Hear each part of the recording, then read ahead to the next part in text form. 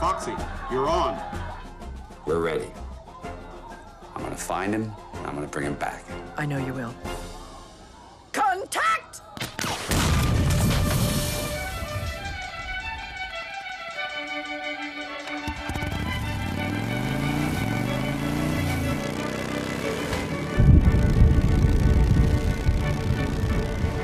Are you scared of wolves? Scared? No. I have a phobia of them.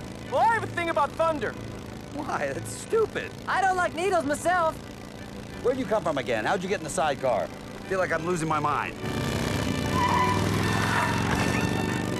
I've got a fox on a motorcycle with a little fox and uh, what, what looks like to be an opossum in the sidecar riding north on Farm Lane 7. Does that sound like anything to anybody? Red, it's Franklin Bean Turn round, get the cuss back here, and pick us up on the ASAP.